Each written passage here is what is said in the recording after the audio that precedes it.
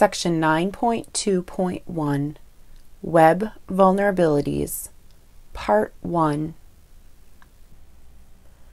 The Open Web Application Security Project, or OWASP, is a nonprofit organization that gathers and shares data about the most commonly exploited web application vulnerabilities. Their goal is to help web developers improve the security of their code. There is a top 10 list published every two or three years. The OWASP Top 10 provides rankings of and remediation guidance for the top 10 most critical web application security risks. The most common list is from 2021.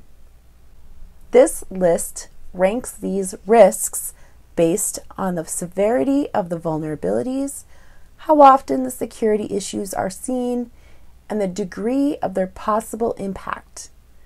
The detailed information available on the OWASP site includes guidance on writing code to avoid or fix these vulnerabilities. The current list with the most severe first include broken access control, cryptographic failures, injection, insecure design, security misconfiguration, vulnerable and outdated components, identification and authentication failures, software and data integrity failures, security logging and monitoring failures, and server side request forgery, or SSRF. Why is it so hard to write secure web code? One reason may be that web programming education usually doesn't include security concepts. But even programmers who are aware of security risks find it difficult to create truly secure websites because a website must be available to anyone, and most websites allow user interaction. It would be much easier to have a static page open only to authenticated users who can't have any interaction with the page.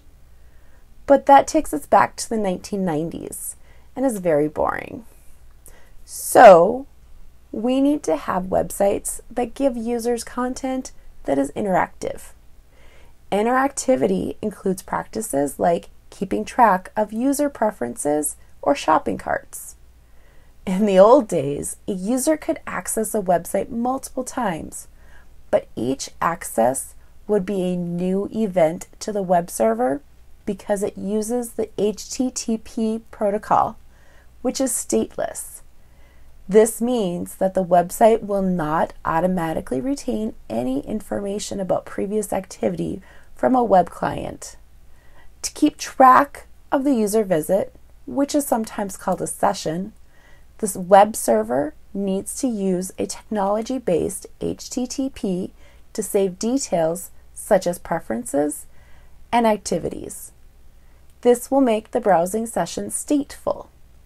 The website is tracking user information and activity.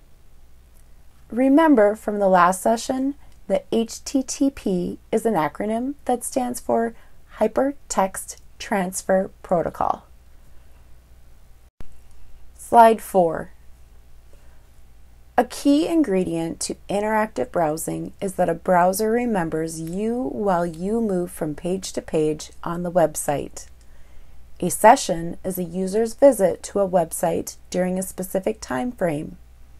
To give continuity during the visit, the website must recognize this browser on this IP address plus this username if logged in.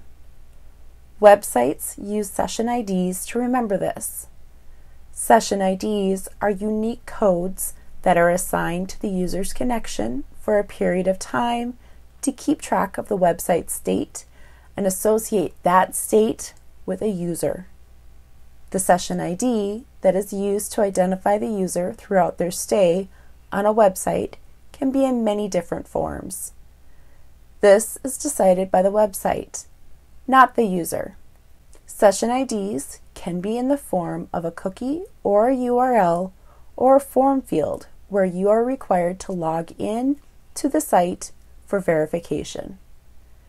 If an attacker gets hold of your active session ID, they may be able to authenticate and interact with the website as if they are you. This is not good. Most websites do have an expiration time on the session ID to limit how long it can be used, and these session IDs are considered active. This will help mitigate the risk of session hijacking. To get a look at URL based session IDs, try out some of the CyberStart challenges listed in the lesson extension. Session hijacking is a common part of web attacks. Session hijacking is when a malicious actor gets possession of a user's active session ID and impersonates the user in a connection to the website. This will often be just one piece of the attack. For example, when an attacker targets a network, they will want to have administrative rights to make changes or execute scripts. By hijacking a session, they will be able to access that account without cracking or stealing the password. While the session ID is still unexpired, the malicious actor can create new administrative accounts or execute the malware. Some methods for session hijacking include predicting the session ID based on information about what ID format is used on that website, forcing the session ID using a phishing attack or exploit, capturing the session ID through sniffing or adversary in the middle attacks, or manipulating session IDs contained in the URL.